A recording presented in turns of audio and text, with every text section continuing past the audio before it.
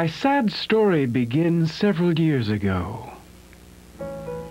An unseasonably warm day in December. I was at home enjoying a quiet afternoon, playing Chopin, content to be inside even on such a fine day, when I noticed the small envelope lying innocently on the floor beneath the mail slot. It hardly seemed to be the agent of fate that it proved to be. It seems so strange now that I accepted Mr. Secco's invitation. I've never been fond of dancing, and I frankly and cordially despise masquerade balls, but I was intrigued by the fact that costumes would be provided, relieving me of the bothersome task of creating one on my own, and the idea that silence was requested. That I found most amusing. All this helped shake me out of my usual reluctance about these affairs, and I went. En route to the ball, my driver and I witnessed a disturbing interlude in the streets. I know now, of course, that it was a warning, an omen of what awaited me at Mr. Secco's. That woman is wearing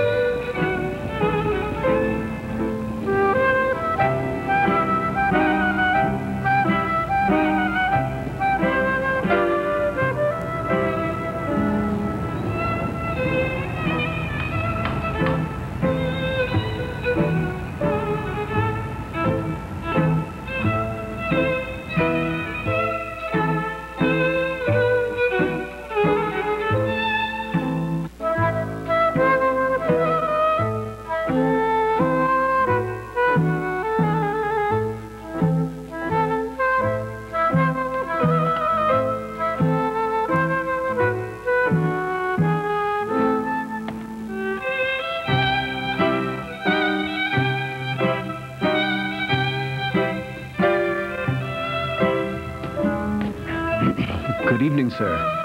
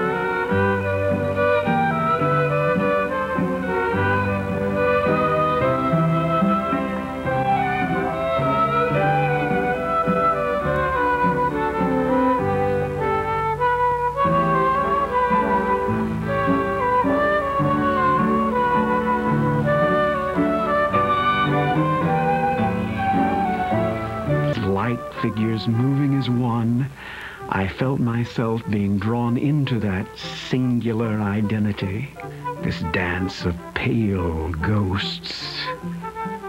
The room was hot. I was uncomfortable in my absurd costume and somehow depressed. I decided to leave at once. I worked my way through the unfriendly crowd looking for an exit, an escape. But wait, this was no exit. I was standing in front of a mirror. Staring at that silver reflection, a strange apprehension came over me. I was searching for my own reflection. I peered more closely into the mirror. I could not find myself. I wanted to see myself, I was lost. Mr. Barbaro. Mr. Barbaro.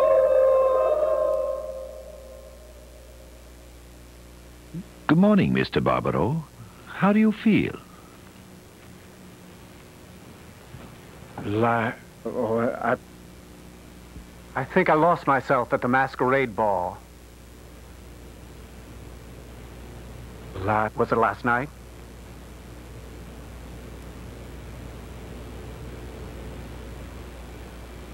Oh, gotta get out of here! Mr. Barbaro! I gotta, I, I gotta leave. I gotta leave Barbaro. immediately. You have to calm yourself. You had a fall. I understand perfectly, but you've got to remain calm. But I knew he didn't understand. I saw immediately that he didn't believe a word I said. He left promising to return the following day. Good morning, Mr. Barbaro. I have something to show you. The examinations were completed, and the good doctor informed me that I had lost my reason. But I knew I had not lost my reason, but my very self. I waited for him to leave so that I could begin my search.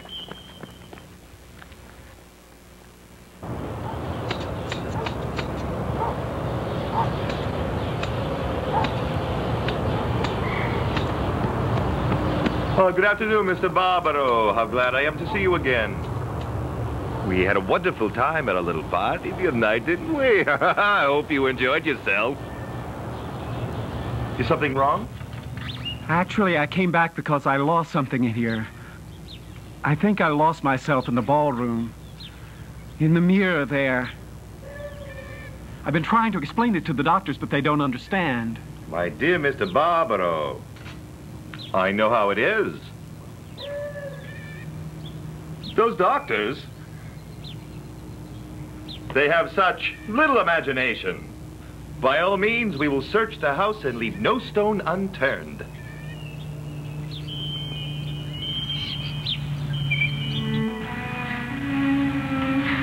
Well, you seem to have lost yourself, eh? Well, not too unusual. However, this is a pretty big place, so, uh, where would you like to start?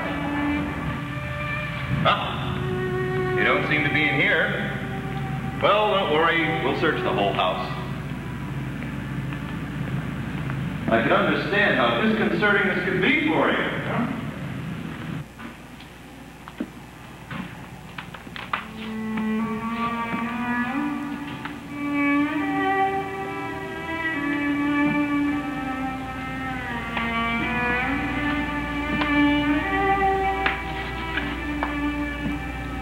I can't tell you how, uh, sorry I am, Mr. Barbaro.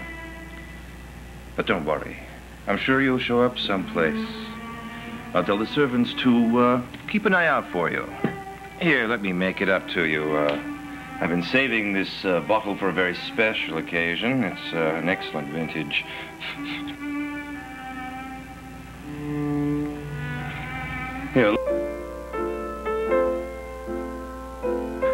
My few forays outside provided no clue as to my whereabouts. I knew that no one believed my pathetic story. Even the priest I sought out in the Garden District Cemetery wore a slightly bemused expression when I told him of my search. Or was it my imagination?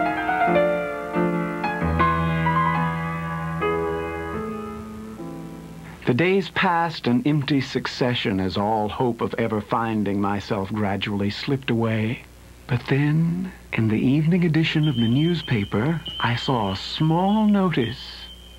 I raced my rendezvous with destiny.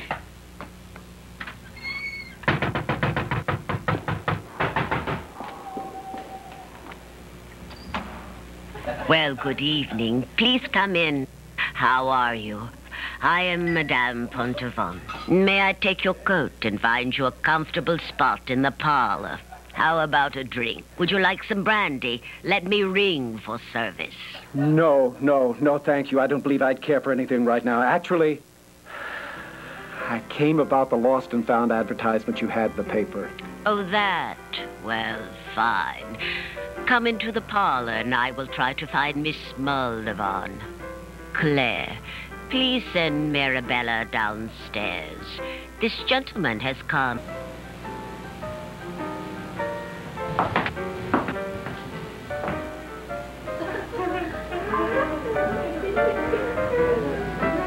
Hello there. I'm Miss Moldevon, and you? I'm Alexander Barbaro. this is 231 Magazine Street, isn't it? Well, of course. I thought you'd visited us here before. You know you really should be careful about where you leave your things lying around. You can never be too certain as to who might find them.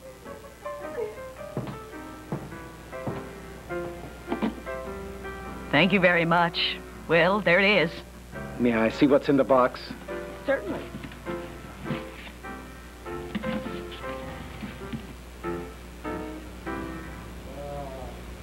Thank you so much. I'm sorry to have troubled you, but I really must go.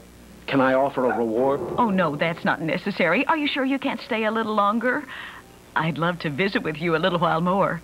We've got some entertainment coming up soon, and I'm sure you'll enjoy the entertainment, and... Thank you, no. I've really got to go.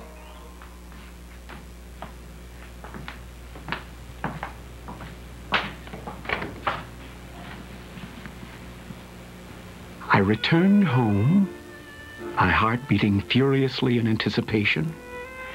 But even in my excitement, I knew that calm was of the utmost importance. I couldn't risk allowing this fragile prize to escape as it had before. Very gently, I opened the box.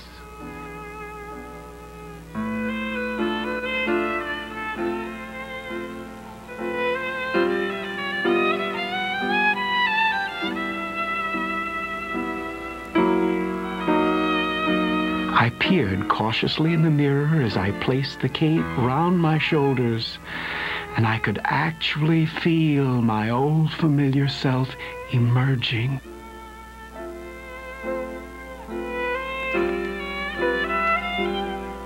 I donned the mask.